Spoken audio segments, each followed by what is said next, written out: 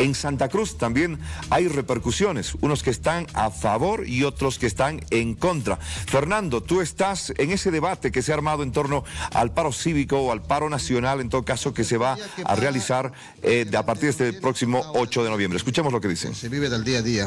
Entonces, hablar del paro cívico eh, nos trae malos recuerdos. Entonces, eh, en una asamblea también que nosotros hemos llevado a nivel del Plan 3000, porque no solamente que, que no va a parar ese plan, eh, mercado modelo Plan 3000, también otros mercados del Plan, 3000. del plan 3000. Permítame, por favor, estamos a nivel nacional y voy a volver a presentar a mis invitados. Estamos con el señor Enrique Aro, presidente del mercado modelo del Plan 3000, y por otro lado el señor Edgar Álvarez, secretario ejecutivo de la Federación Departamental de Gremiales. El sector gremial es la punta de la lanza de este pedido de abrogación del paquete de leyes por parte del gobierno. Sin embargo, los gremiales que piden eh, que se respete y que se haga este paro, por un lado, son eh, representados por el señor Edgar Álvarez y el plan 3000 no va a parar. Eso es lo que nos está contando ahora el señor Enrique. Ahora, esta determinación que usted me dice que van a tomar, que es no parar y seguir trabajando de manera normal a partir de este lunes, obedece a que ustedes están en contra de lo que se pide o están a favor de lo que se pide pero la economía no les da para parar. Quisiera que me aclare esa situación. Eh, creo que no nos da la economía para parar.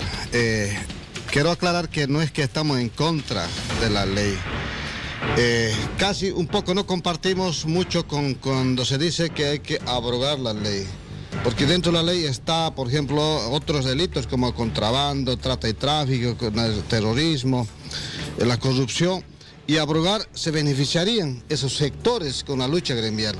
Lo que tendría que hacerse es derogación de unos artículos, exclusivamente o modificarla o excluir algunos conceptos, digamos, ¿no? Que en este caso eh, no podría reglamentarse mediante una, un decreto tendría que ser otra ley. Entonces, eh, creo que esa, hay que derogarla o modificarla, ese artículo 7 en cuestión que estamos. Entonces, Pero abrogarla en la totalidad se beneficiarían otros eh, sectores, como por ejemplo estamos viendo otros delitos de que ya está en otras leyes que creo que no da, digamos. Por eso, analizando desde ese punto de vista, dijimos, o han dicho los eh, dirigentes que están en los mercados del Plan 3000, bueno, eh, nos desmarcamos de este paro porque, bueno, parece que ah, de paso se politiza y de paso comité cívico. Entonces, si es una, si es una lucha gremial, tiene que ser genuina, solamente del gremial, pero que se entrometa... Eh, algo de político, algo de comité, y, eso, dice y eso le embarra esta lucha que, que a nivel gremial inicialmente se había empezado. El señor Aro dice se politiza. ¿Qué responde usted? ¿Esto es así? No, en ningún momento, ¿no? Nosotros hemos sido orgánicos, hemos sido consecuentes con las diferentes reuniones que fuimos realizando en la cumbre primero departamental, hemos venido de ampliados nacionales para llegar a una departamental y luego a una cumbre nacional multisectorial, donde ahí se dio el mandato de acercarse a los comités Pro Santa Cruz para poder masificar y buscar una unión. El comité Pro Santa Cruz es pro intereses de Santa Cruz.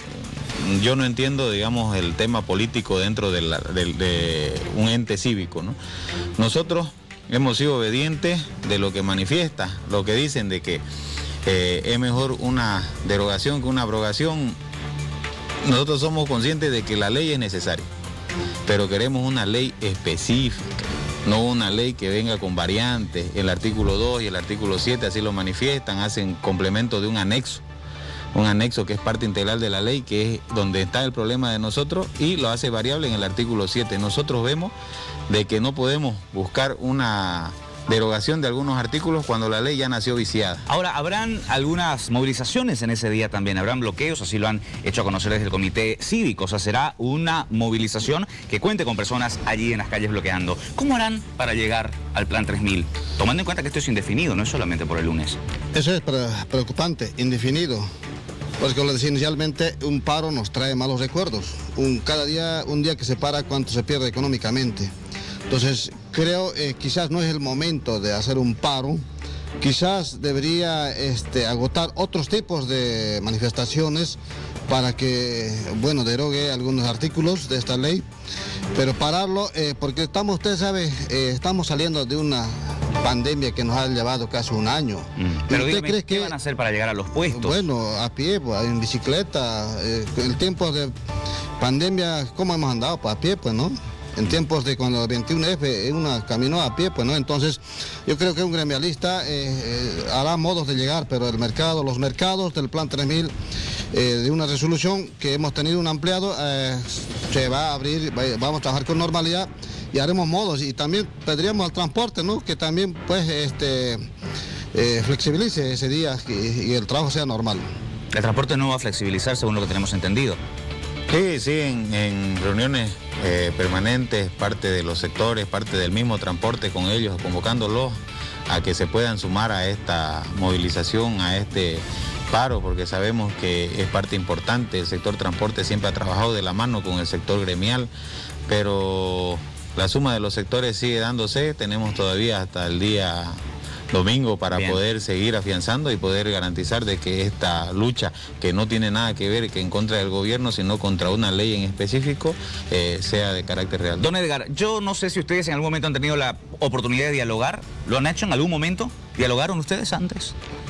Claro, nosotros somos eh, colegas, él pertenece a una federación y a una pertenece a mercados. Eh, bueno, evidentemente en las veces que ustedes se han podido reunir no se ha llegado a un, a un acuerdo, por lo, tanto no piensan igual. ¿Usted quiere decirle algo a él, aprovechando que está aquí? No, yo respeto a compañero Edgar, eh, presenta una federación, a su federación que hoy por hoy está apostando por la, hacer el paro.